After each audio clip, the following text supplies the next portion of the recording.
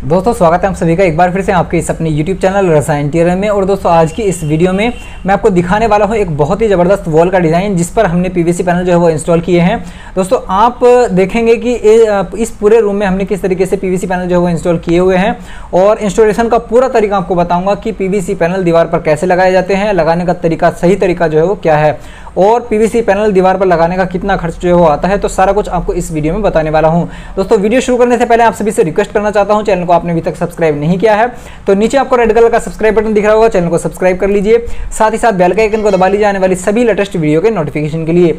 तो चलिए दोस्तों without wasting any time video शुरू कर लेते हैं। तो दोस्तों, यहाँ पर आप देख सकते हैं, ये हमारा 10 बाई 12 का एक रूम है। इस रूम की पहले आप, आपको मैं वॉल दिखा देता हूँ। सभी वॉल जो है वो किस तरीके की हैं? पहले वॉल का आपको मैं यहाँ पर पूरा लुक दिखा देता हूँ। यहाँ पर आप देख सकते हैं दोस्तों, ये जो वॉल है दोस्तों, कितना सीलन इस पर जो है वो आई हुई है। और बहुत सारे भाई हमारे जो है वो कमेंट करते हैं कि क्या सीलन वाली दीवार पर पीवीसी पैनल लगा सकते हैं। तो आज वही पूरा सब कुछ मैं आपको इस वीडियो में दिखाने वाला हूँ। ये देखिए आपको इन दीवारों पर नीचे की तरफ़ आप दिखाई दे रहा होगा कितनी सीलन जो है वो आ रखी है और दीवार कितनी ज़्यादा ख़राब जो है वो हो रखी है। तो और एक साइड में इसकी जो है कपबोर्ड है, जिसमें कि हमें यहाँ पर पीवीसी पैनल इंस्टॉल नहीं किए जाएँगे, इस पूरे रूम में तीन दीवारों पर पीवीसी पैनल इंस्टॉल किए जाएँगे।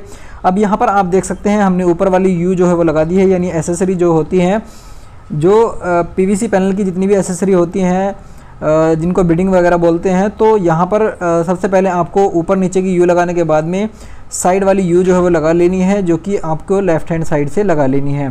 जैसा कि मैंने आपको पहले भी बताया है कि जब आप वॉल वॉल पर पैनल लगाना स्टार्ट करेंगे तो उससे पहले जब एसेसरी आप लगाएँगे तो एसेसरी लगाने कहाँ पर आपको लगानी है? लेफ़्ट हैंड साइड से आपको एसेसरी जो है लगा करके चलनी है। जैसे कि यहाँ पर आप देख रहे हैं, और इस एसेसरी को हमने किलो द्वारा जो है रोके, रोका हुआ है।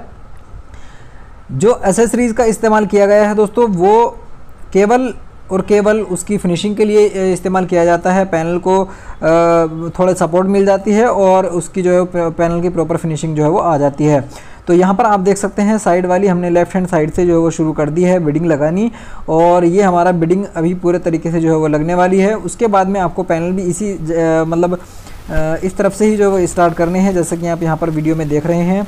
मैंने आपको पहले भी कई बार यही वीडियो में बताया है कि जब आप वॉल स्टार्ट करेंगे तो लेफ़्ट हैंड साइड से करेंगे। लेफ़्ट हैंड साइड से वॉल स्टार्ट करने का दोस्तों आपको फ़ायदा ये मिलता है कि जब आप लेफ़्ट हैंड साइड से वॉल स्टार्ट करेंगे तो आगे जब आप कील लगाएँगे या स्क्रू वगैरह करेंगे तो वो आपका राइट हैंड पड़ेगा और आपको जो है वो प्रॉब्लम नहीं आएगी जो वॉल इंस्टॉल करने के लिए। ठीक है? तो जैसे कि आप यहाँ पर देख रहे हैं, हमारा राइट हैंड से जो है हम वर्क कर रहे हैं।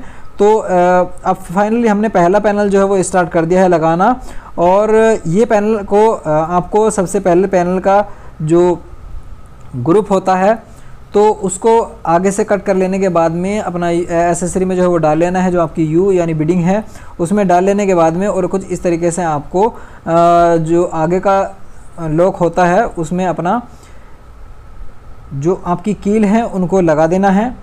अब दोस्तों, कील आपको नॉर्मल वाली कील बिल्कुल भी यूज़ नहीं करनी है, जो कीलों का इस्तेमाल करना है। दोस्तों बैटन गिट्टी जो आती है, जो कि वायर को रोकने के लिए बैटन गिट्टी इस्तेमाल की जाती है तो उसका आपको कील निकाल लेनी है, वही कील आपको इस्तेमाल करनी है, वो सबसे ज़्यादा अच्छी जो है वो होती है। उस कील से दोस्तों आपका पैनल जो कभी भी नहीं निकलेगा और बहुत लंबे टाइम तक ये पैनल जो है वो आपका रुका रहेगा वॉल पर। कभी भी ये पैनल जो है वो कहीं पर भी नहीं जाने वाला है और ये कील एक तो इनमें कीलों में मुड़ने की प्रॉब्लम जो है वो नहीं होती है जब आप इंस्टॉलेशन करते हैं। तो कई दफ़ा ऐसा हो जाता है कि जो हमारी दूसरी दूसरी कीलें होती हैं तो वो लगाते हुए जो है मुड़ जाती हैं। तो इन किलो में ऐसा बिल्कुल भी नहीं होता है, चाहे जितनी हार्ड या नॉर्मल आपकी वॉल हो तो उनमें ये बहुत ही आसानी से चली जाती हैं और वॉल में अच्छे तरीके से फिट हो जाती हैं, कभी भी निकलती नहीं हैं। तो आपको ज़्यादातर जो यूज़ करना है वो किलो का इस्तेमाल करना है। देखिए, स्क्रूइंग अगर आप करते हैं तो मैं एक चीज़ आपको बता दूँ, हमारे बहुत सारे भाई पीवीसी करने वाले बोलते हैं कि भाई आप स्क्रू जो है वो क्यों नहीं लगाते हैं? क्योंकि स्क्रू भी लगाए जाते हैं, मैं आपको बता दूँ। लेकिन उसमें एक ये होता है क्योंकि हमारा बिल्कुल तीन तीन, दो तीन सूत का हमारा, दो सूत का हमारा जो लोक होता है और जो पेंच की यानी पेंच जो होता है वो एक सूत के बराबर पेंच जो होता है तो आपका जो है कहीं ना कहीं लोक टूटने की प्रॉब्लम जो है वो पेंच में पेंच लगाने में आ जाती है, जो स्क्रू आप करते हैं तो उसमें कहीं ना कहीं लोक टूटने की प्रॉब्लम आती है। तो इस वजह से हम जो है वो स्क्रू का इस्तेमाल बहुत कम करते हैं। स्क्रू का इस्तेमाल जो है वो नहीं करते हैं। कहीं पर अगर ऐसा है कि वहाँ पर आपकी वॉल ज़्यादा डैमेज है मतलब वॉल में ज़्यादा अंदर रेत निकल रहा है वॉल अच्छे तरीके से जो है वो मतलब अच्छी वॉल नहीं है तो वहाँ पर स्क्रू का आप इस्तेमाल कर सकते हैं, कोई प्रॉब्लम आपको नहीं आने वाली है, क्योंकि वहाँ पर कीले जो है वो ज़्यादा ड्यूरेबल नहीं होती हैं। अच्छी अगर आपकी वॉल है, कोई प्रॉब्लम आपकी वॉल में नहीं है तो आप जो है बेफिक्र केलों का इस्तेमाल करें, काफ़ी लंबे टाइम तक 10 15 20 साल कहीं पर भी नहीं जाने वाली है। तो बैटन गिट्टी का आपको इस्तेमाल जो है वो करना है। यहाँ पर आप देख सकते हैं पैनल की कटिंग किस तरीके से की जा रही है और ये जो हमारा पैनल लग रहा है दोस्तों, ये हमारा 113 इंच का पैनल इस वॉल पर लग रहा है। इस वॉल पर ऊपर की तरफ़ जो है वो पुट्टी हो रखी है। जो हमारी पीओपी है, वो हो रखी है और उसके नीचे से हमने पैनल लगाना जो है, वो स्टार्ट किया है, जैसे कि आप यहाँ पर देख रहे हैं। तो पूरा इंस्टॉलेशन का तरीका मैं आपको यहाँ पर दिखा रहा हूँ, किस तरीके से पैनल की कटिंग की जाती है, पैनल वॉल पर किस तरीके से लगाया जाता है। अभी तीन पैनल फाइनली इंस्टॉल हो चुके हैं और चौथा ये पैनल जो है, वो लग रहा है। तो ये आप देखें दोस्तों, किस तरीके से पैनल जो है, वो लगाए जाते हैं। अब चलिए खर्च के बारे में आपको बता देता हूँ। हमारे भाई कमेंट करते हैं कि भाई खर्च के बारे में लास्ट में बताते हो तो अभी आपको मैं फ़िलहाल बीच में ही वीडियो के मैं खर्च के बारे में आपको बता देता हूँ। अगर दीवार पर आप इस तरीके से सिंपल पैनल जो है वो इंस्टॉल कराते हैं, चाहे वो आप हैवी हैवी पैनल इंस्टॉल कराएँ या नॉर्मल पैनल इंस्टॉल कराएँ। देखिए हैवी पैनल के लिए जो रेट है वो आपका सत्तर रुपये पर स्क्वायर फुट रेट है, यानी सत्तर रुपये पर स्क्वायर फुट के हिसाब से आप अच्छा अच्छी क्वालिटी का जो पैनल है वो इंस्टॉल जो है वो करा सकते हैं। दिल्ली, पंजाब, चंडीगढ़ में हमारा वर्क है। अगर आप इन सिटीज़ से हैं, गाज़ियाबाद, दिल्ली, नोएडा और चंडीगढ़, पंजाब, मोहाली इनमें अगर आप वर्क कराना चाहते हैं तो आप हमें कांटेक्ट कर सकते हैं। डिस्क्रिप्शन बॉक्स में कांटेक्ट नंबर जो है वो दिया है। वहाँ से जाकर आप हमें कांटेक्ट कर सकते हैं।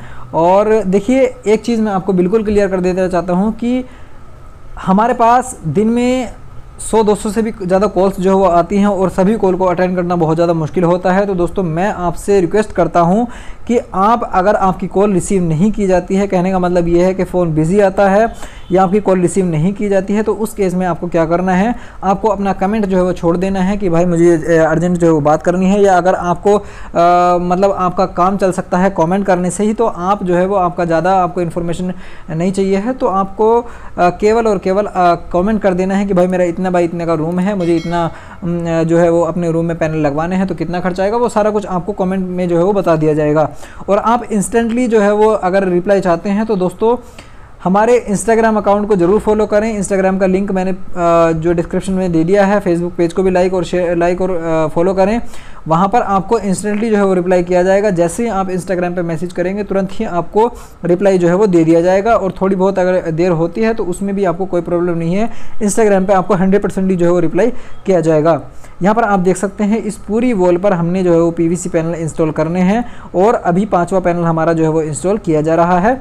तो इंस्टॉलेशन का इंस्टॉलेशन का जो प्रोसेस है वो बहुत ही आसान है। आप देख सकते हैं किस तरीके से पैनल जो है वो इंस्टॉल किए जा रहे हैं और इंस्टॉल होने के बाद में पहले हमारी वॉल कैसी थी और इंस्टॉल होने के बाद में पैनल जो है वो किस तरीके के दिखाई देते हैं, वो यहाँ पर आप देख सकते हैं।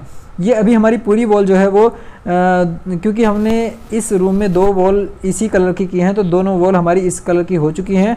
एक दूसरी वॉल हमने दूसरे पैनल से की है तो उसकी भी हमारी जो सेपरेट वीडियो है वो बहुत जल्द आपके लिए आने वाली है। अभी फ़िलहाल यहाँ पर आप देख सकते हैं जो वॉल हमने इंस्टॉल की है वो भी आपको दिखाऊँगा। बाकी उसके आ, मतलब दूसरी साइड वाली वॉल मैं आपको अभी यहाँ पर दिखा रहा हूँ जिसमें हमारी विंडो और डोर हैं।